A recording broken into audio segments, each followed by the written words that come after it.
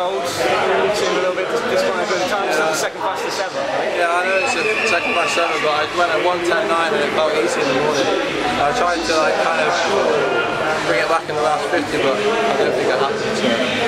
So it's a bit disappointed, but oh well. It's just another competition. Just trying to just get better times in for. Uh, uh, from London, I think I went faster than London, so I suppose that's positive season was here this week, and then you did it twice in one day. I mean, that's got to bode well, doesn't it? Yeah, I mean, I, I'm not. I'm like making a. I just disappointed myself, but if you look at it on paper, it's the second fastest climb in the world. So uh, yeah, I can't be disappointed really. And you were 0.3 off the 400 world record of the champs. Yeah. You must be feeling pretty good about this. Yeah, uh, I'm in the week. feeling pretty good about that. I've been working closely with Mick again um, between London and Sheffield, so uh, anything can happen really.